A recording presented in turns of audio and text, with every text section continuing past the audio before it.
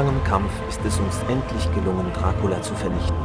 Doch der Preis, den wir zahlen, ist hoch. Quincy starb vor unseren Augen und wir konnten nur tatenlos zusehen. Mina ist gerettet, aber für wie lange? Das Vampirblut fließt in ihren Adern. Selbst wenn die Spuren an ihrem Hals verschwunden sind, wer garantiert uns, dass sie eines Tages nicht wieder auftauchen? Wir alle haben zwar gesehen, wie Dracula verschwand, doch niemand unter uns kann mit Bestimmtheit behaupten, dass wir das Ungeheuer wirklich besiegt haben.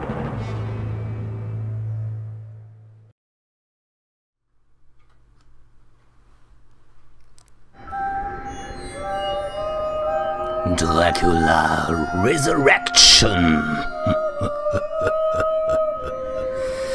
Meine lieben Kinder der Nacht, wie ich euch seinerzeit bei Dracula Sims 3 immer genannt habe, ne?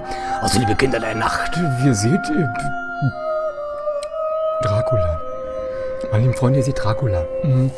Ihr seht es auch ein anderes Bild, als ihr das eben äh, aus dem Intro äh, gesehen habt. Ähm, das hat mehrere Gründe. Das erkläre ich aber im Laufe des Spiels, denn ähm, ja, ich denke mal, ich werde gleich auf jeden Fall im Spiel noch ein paar Sachen generell zu diesem wunderschönen Spiel sagen und warum ich mich jetzt auch gerade für Dracula entschieden habe. Aber nichtsdestotrotz möchte ich euch jetzt erstmal, sagen wir mal, einladen an dem äh, zweiten Intro, das ich dann gleich auch erklären werde, äh, teilzuhaben. Und deswegen gehe ich mal direkt auf neue, äh, neues Spiel. Liebe Leute, herzlich willkommen und ich, äh, doch ehrlich, ich habe Schiss.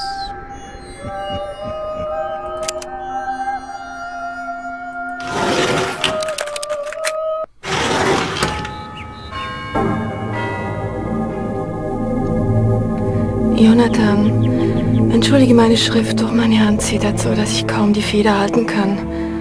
Nachdem du mich heute Morgen verlassen hast, überfiel mich eine Art Schwindel. Ich ging an die frische Luft und als ich aufsah, war ich in Carfax. Draculas ehemaliger Wohnsitz rief mich. Es war, als sei er zurückgekommen und suche nach mir. In dem Augenblick, wo ich dir schreibe, kann ich seiner Anziehungskraft nicht mehr widerstehen. Ich nehme das erste Schiff nach Transsilvanien.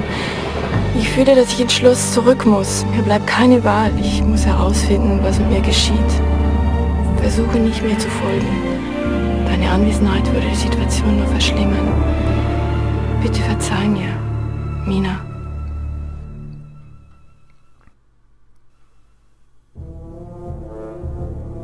Seward, mein Freund. Meine schlimmsten Befürchtungen haben sich bestätigt.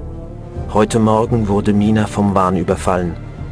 Sie hat beschlossen, allein nach Transsilvanien zu reisen. Wie es scheint, ist Dracula zurück. Kannst du deinerseits Erkundungen in London anstellen, um herauszufinden, ob diese Gefahr wirklich besteht? Sollte dies der Fall sein, so müssen wir neue Verbündete finden und den Kampf erneut aufnehmen. Nimm dich in Acht und sei vorsichtig. Ich werde jetzt sofort Mina folgen. Sie hat nur wenige Stunden Vorsprung. Ich hoffe, ich werde sie finden, bevor es zu spät ist. Jonathan.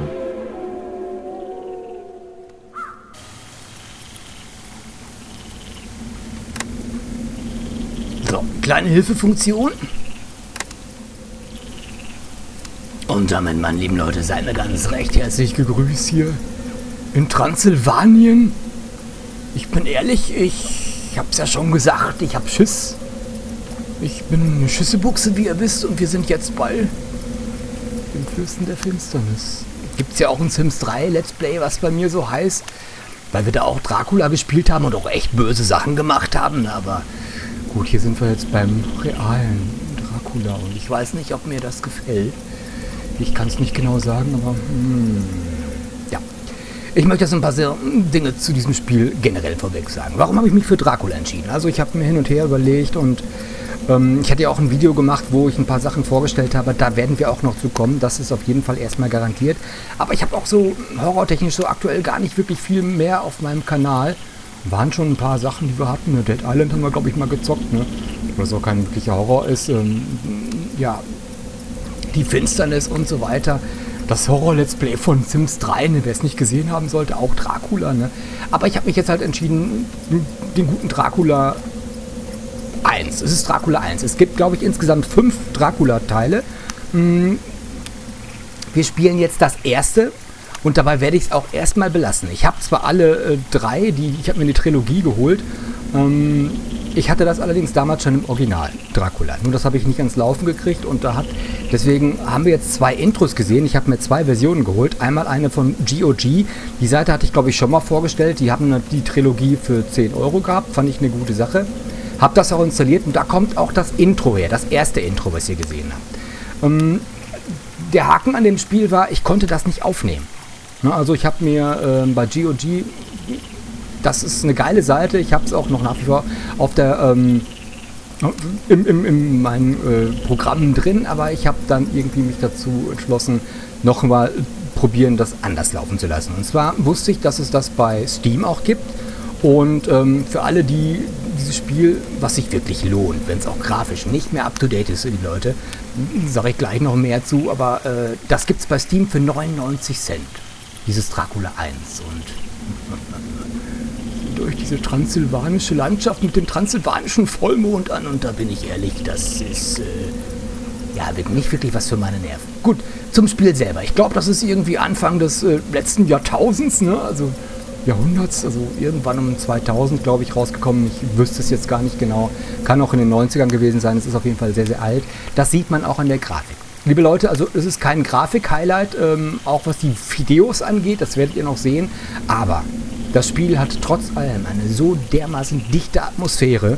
Ich habe das damals mit einem Kumpel zusammen gespielt und wir hatten echt, wir hatten nicht direkt Schiss, aber es war schon, es war, es, also es macht dem Namen Dracula wirklich alle Ehre. Es ist wirklich ein tolles Spiel und ähm, ja, ich lade euch ganz, ganz herzlich dazu ein. Ne? Nochmal hier herzlich willkommen. Erstes äh, Let's Play im neuen Jahr ne? und es wird gleich der Fürst der Finsternis. Ne? Und ja. Also wie gesagt, deswegen ne, seht ihr jetzt der Vorteil gegenüber dieser Steam-Version, also die Steam-Version ist Vollbild. Das wäre bei GOG nicht gewesen, das wäre halt äh, ne, die beiden Balken, ne, 4 zu 3 oder wie das heißt. Ne. Ähm, das ist also nochmal ein Vorteil. Allerdings das äh, Inventar ist beim, beim GOG, beim Original, ein bisschen schöner gelöst, sagen wir es mal so. Hier, das sieht zwar schon sehr poppig aus und man kann eine Menge mitmachen und es erfüllt seinen Zweck, aber das ähm, echte Original Graf Dracula Spiel hat dann noch ein bisschen anderes Interface. Ansonsten ist das geblieben. Ihr seht hier die Pfeile, wenn wir irgendwas machen können. Da klicken wir dann auch gleich mal drauf. Und ich glaube, jetzt habe ich tierisch lange genug gelabert. Und wir gehen jetzt mal hier in dieses wunderbare Gasthaus. Das, ich weiß nicht, das spielt, glaube ich, wer von euch Dracula jemals gesehen hat oder von Bram Stoker auch Dracula gelesen hat.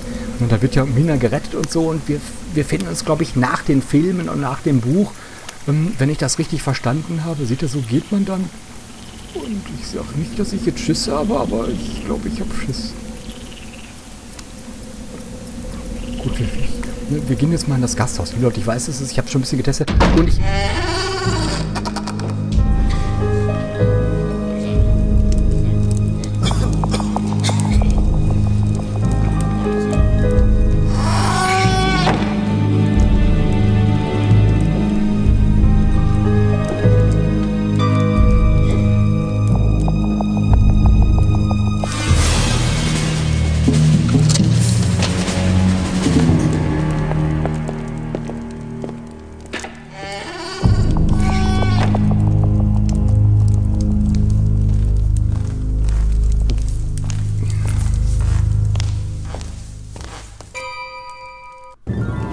Willkommen, Fremdlinge meiner schlichten Herberge. Ich hoffe, diese beiden Rohlinge haben Sie nicht verletzt. Ich weiß nicht, was in Sie gefahren ist. Doch sicher, Sie haben eine lange Reise hinter sich und es ist schon spät.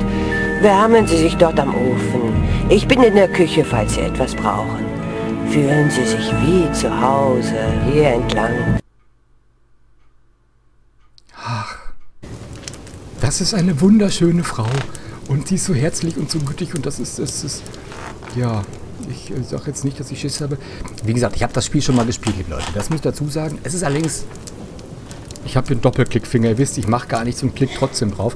Ähm, es ist allerdings ewig lange her. Es ist damals, als es rausgekommen ist, ne, eine kurze Zeit später, hatte ich das Game und entsprechend lange ist es her. Ich weiß also nicht mehr wirklich viel, ne, aber ich weiß, dass es eine, damals eine, eine Atmosphäre hatte, die teilweise heute noch seinesgleichen sucht. Ne, und ähm, ja, wir sind also, wie gesagt, nach der Dracula-Geschichte nach der Original-Dracula-Geschichte. Mina ist wieder weg, ist zum Grafen ins Schloss zurückgeflüchtet. Wir müssen jetzt mal gucken, dass wir jetzt hier... Ne, wen haben wir hier? Guten Tag, Kollege. Schloss, genau. Wir müssen ins Schloss. Ich möchte zum Schloss. Sagen Sie, wie komme ich am schnellsten dorthin? Das alte Schloss. Das steht doch leer, seit der Graf verschwunden ist. Fremder, was willst du dort? Ich habe keine Zeit für Erklärungen. Doch ich muss so schnell wie möglich dorthin.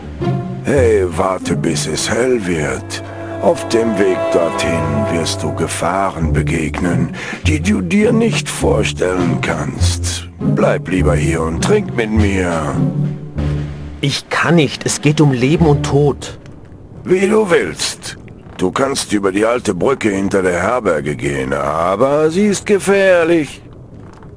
Ist das wirklich der einzige Weg? Oh, auf alle Fälle ist das der kürzeste.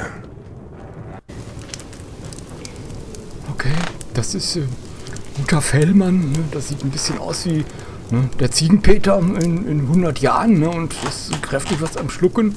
Das sind die Gesprächsoptionen. Hier haben wir jetzt das Schloss abgekaspert, aber da können wir aktuell nicht mehr viel machen. Er hat uns also gewarnt. Wir sind also gewarnt, dass da schlimme Dinge passieren. Aber wenn der gute Jonathan Harker den äh, bösen Dracula schon mal besiegt hat, und das hat er ja, sonst hätte er Minan damals nicht retten können, dann, ähm, ne, er weiß wahrscheinlich, worauf er sich einlässt. So, pass mal, sollen wir mit, mit der netten äh, Dame hier nochmal sprechen, ne? Mhm. Oh, was haben wir da? Wenn ein Rädchen ist, können wir was machen.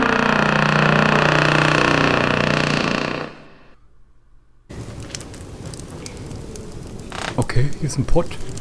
Ein paar Gläser und hier ist abgeschlossen. Aha. Na gut, dann... Äh.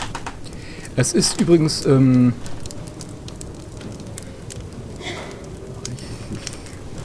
Wie gesagt, Angst kenne ich nicht. Das ist eine schöne Frau. Wunder, wunderschöne Frau. Ich bin jetzt schon verliebt am Anfang des Spiels und das passiert mir nicht so oft, aber wir, wir sprechen noch mit ihr. Hier, Süße, wir müssen ins Schloss.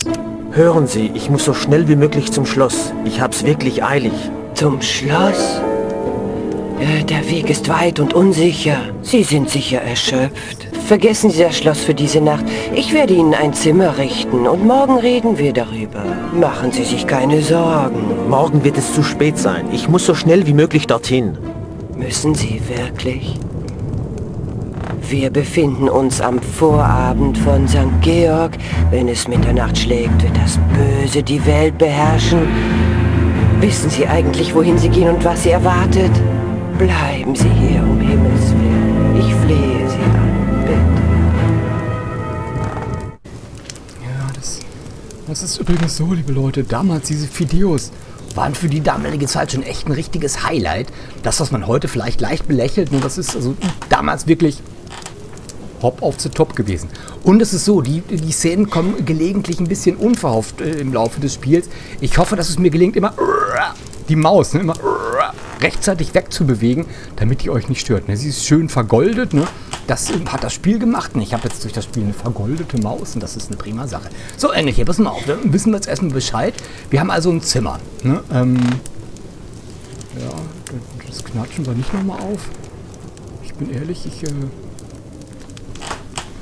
würde sagen, ne, Pfeil ist geil, ihr kennt ja mein Motto, ne? Hier nochmal Pfeil ist geil.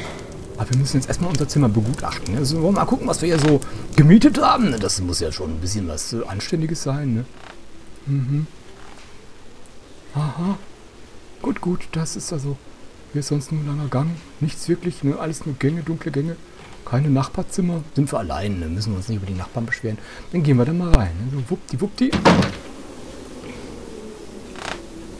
Hier ist mir übrigens beim Soundcheck aufgefallen, dass der äh, Sound hier gelegentlich Blähungen hat. Das heißt, er pupst manchmal und das kann passieren, aber das ist nicht zu ändern. Ich kann die Soundeinstellung auch. Habt das gehört? Da war es knickt irgendwie so ganz komisches, ähm, egal. Ähm, ja, ich kann die Soundeinstellung, ich kann das mal ganz kurz zeigen, so ja auch nicht wirklich groß. Ich kann in dem Spiel nicht wirklich großartig was machen. Das Interface haben wir jetzt schon gemacht. Ich kann euch nur die Optionen zeigen. Ich habe hier die Soundeffekte, die Musik, Musik habe ich erstmal auf drei. Ich würde so vielleicht noch einen leiser machen, aber so viel Musik kommt dabei nicht. Ne? Und die Videos auch volle Luppe. Das ist alles, was man einstellen kann. Mehr kann man nicht machen. Ne? Und Spiel fortsetzen. Man kann komischerweise zwar laden, aber nicht speichern. Ich hätte hier noch kein Speicherinterface. Hm. Ist aber nicht wirklich äh, wild, weil er speichert das immer an der richtigen Stelle, bis jetzt zumindest. Ne? Deswegen gehen wir mal fortsetzen. Kommt das hier, ne? Drachen, ne? Hat ja gerade so ein St. Georg gesagt, ne? Und St. Georg ist halt ne, der Drachentöter, damals für bekannt, ne? Was haben wir hier, ne? Kommen wir da irgendwie raus oder rein oder wie auch immer? Abgeschlossen. Okay, das, das, das, dieses Feld muss man, habt ihr gehört, da hat es wieder gebläht. Äh, der Sound hat gebläht. Aber das ist eigentlich mehr oder weniger nur hier äh, passiert. Sonst war das eigentlich relativ okay. So, was haben wir hier? Können wir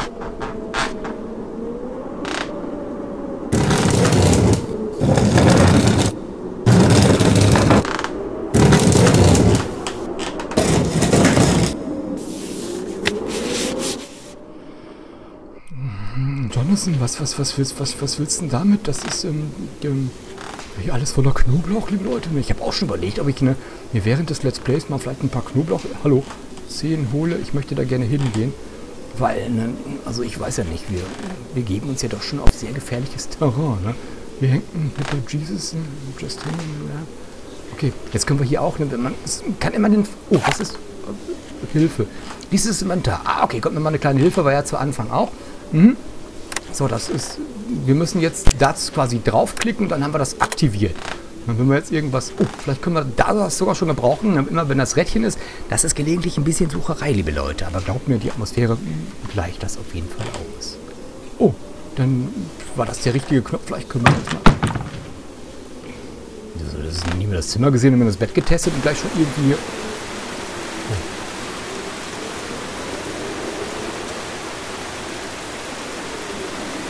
Wenn ich übrigens mal zu schnell wirbeln sollte, das kann gelegentlich passieren, dass ich das so mache. Das war jetzt sehr übertrieben, liebe Leute. Dann seht es mir bitte nach, aber ich bin nervlich bei dem Spiel mal ein bisschen angespannt, weil ich bin halt eine kleine Schlüsselbox. Ja. So, was haben wir da? Okay, da kann man nichts machen. Und? Hier geht's wieder raus. Geht das ins Seil? Kann man nichts mitmachen rauscht auf jeden Fall das Wasser so schön. Okay, so, das ist, da kommen wir, glaube ich, wieder zurück, ne? Ja, wir müssen noch was finden wahrscheinlich, ne? So ein paar Erinnerungen habe ich noch, ähm, aber sie sind recht begrenzt. Aber dann, wir gucken mal. So, dann gehen wir mal schön hier. Hier ist der Dachboden, wir wohnen direkt unterm Dachboden, das ist gut, ne? Wenn Dracula rein will, dann kommt er sowieso rein. Egal, so ganz kurz hier das Bett testen, ne? So, bitte einmal gucken hier. Das Oh, sieht alles ein bisschen nach Hanf aus. Hanf ist nicht das Schlechteste, habe ich mir sagen lassen. Und zwar ne, zur Verarbeitung, nicht zum Rauchen. Also. Okay, knoblauchtechnisch sind wir auf jeden Fall erstmal geschützt. Dann würde ich sagen, gehen wir mal. Gucken wir hier nochmal. Zim. Ja, hier kein Nachbarzimmer, ne, nur ein langer, dunkler, mit schönen Petroleumlampen beleuchteter. Hier ist auch keine, keine, hat die nur ein Zimmer, die gute Dame? Naja, egal. Wir gehen mal runter. Da hat es wieder geknackt, so ein bisschen. Aha.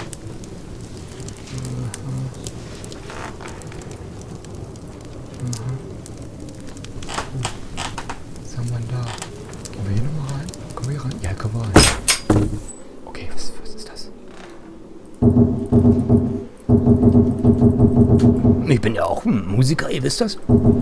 Ne, so, aber okay, können wir erstmal nichts machen. Wie gesagt, bei den, bei den Animationen, bei den Videos hoffe ich, dass ich schnell genug rauskomme und auch dran denke. Wenn ich mal nicht dran denken sollte, bitte seht es mir nach, wie das kann im Eifer des Gefechts mal passieren. So, oh, oh. Hier der Keller. Was haben wir da? Was ist das?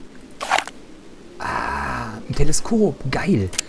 Das könnte vielleicht da oben drauf passen. Na gut, okay. Sonst haben wir hier nichts. Hier ist auch noch ein Pfeil. Pfeil ist geil, Freunde. Zu dunkel, um hin, hineinzugehen. Das kann ich verstehen, Jonathan, das kann ich verstehen. Ja, wie gesagt, storytechnisch befinden wir uns äh, wahrscheinlich dann nach den Romanen und auch nach den Filmen. Ne? Dracula, in den meisten Filmen, ich habe damals als Guten, das kann ich ja noch mal kurz zum Abschluss der Folge erzählen, habe ich damals einen Dracula-Film gesehen, da war ich, glaube ich, elf oder zwölf. Damals war das schon ein Highlight. Ich durfte immer mal näher aufbleiben. Ne? Das kam damals ganz spät. Ne? Irgendwie nach elf. Ne? Und das war für elf, zwölf Jahre schon damals echt ne? kräht heute keine Sau mehr nach. Aber damals ne, war das schon echt eine Nummer. Und da habe ich mir im alten Herren den, den, den, den, den Dracula mir angeguckt. Hatte natürlich keine Angst. Ich habe niemals Angst, ich bin ein angstfreier Mensch. Und, äh, aber ich habe hinterher... So, hier, mit der Hand auf dem Hals bin ich schlafen gegangen. Ne? Das, äh, das hat sich so in meinem Gedächtnis geprägt und eingeprägt, dass ich das heute noch weiß. Ne? So, so. Ich weiß nicht, ob ihr das seht, aber mit der Hand auf den, auf den Hauptschlagadern bin ich dann eingeschlafen. Und ähm, ja, ich sage jetzt erstmal, oh Gott, oh Gott. Hier werden uns viele finstere Sachen erwarten. Ne? Die nette Lady, ne? ich finde sie jetzt allerliebst und es ist eine schöne transsilvanische Gaststätte und ich sage nochmals herzlichen Dank fürs Zuschauen und willkommen hier bei Dracula. Ich hoffe, ihr habt ein bisschen Spaß an der Sache und ich sage nicht, dass ich Angst habe, liebe Leute. In diesem Sinne, ab in die Rinne, Freunde. Haltet euch wacker. Ciao, ciao, sagt euer Dracula 45.